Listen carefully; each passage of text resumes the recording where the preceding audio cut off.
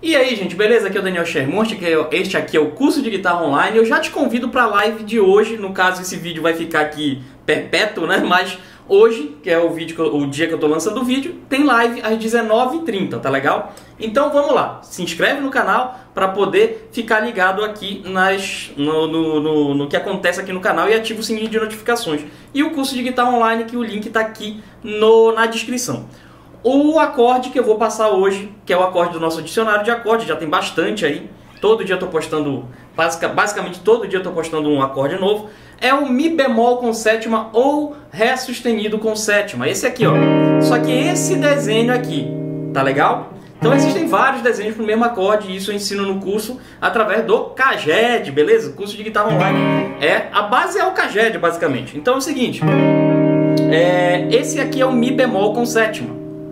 Tu podes pensá-lo simplesmente pegando o desenho do Dó maior, para quem não conhece, está aqui o Dó maior, então praticamente dois acordes hoje. Tu vais colocar o teu o Dó maior, né? Tu vais puxar o Dó maior para aqui o terceiro dedo para sexta casa, tá?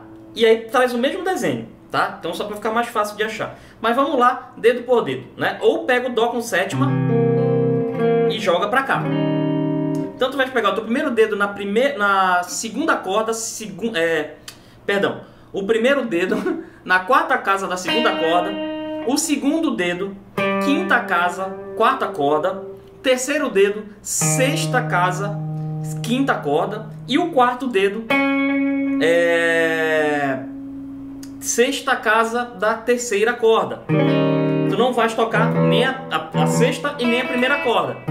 E com isso tu tens o Mi bemol com sétima ou Ré sustenido com sétima. Beleza? Então é isso aí, te aguardo na live hoje às 19h30. Para quem assistiu esse vídeo outro dia, enfim, fica aí o convite para assistir a live que eu fiz no dia de hoje. Beleza, um abraço e até o próximo vídeo.